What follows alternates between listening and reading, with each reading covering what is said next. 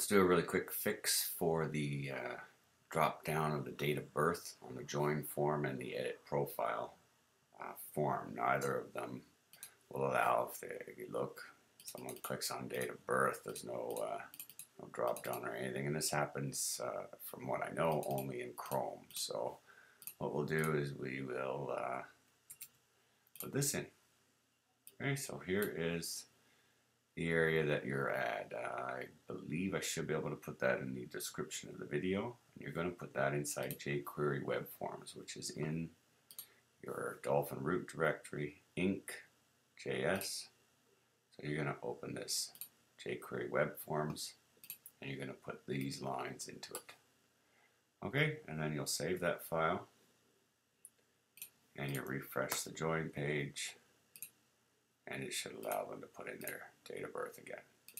Okay, now um, if you have caches on, you'll have to go in and clear your cache in order for the change to be affected.